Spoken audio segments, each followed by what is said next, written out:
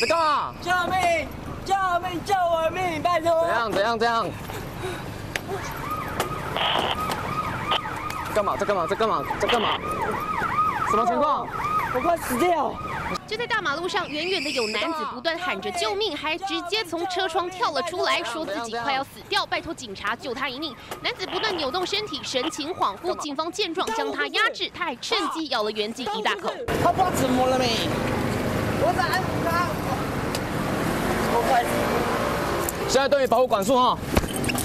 黄姓男子不断吼叫，还在原地翻滚。一旁朋友被他突如其来的举动吓到傻眼。说什么有牛头马？然后有鬼要来抓他了。有鬼要来抓他。黄姓男子与朋友要往淡水方向行驶的时候，行进欧米路一段，却突然从副驾驶座跳出来，行进相当危险。是清醒之后有向警方坦诚，在当天清晨的时候有吸食二级毒品安非他命及鸳鸯锭。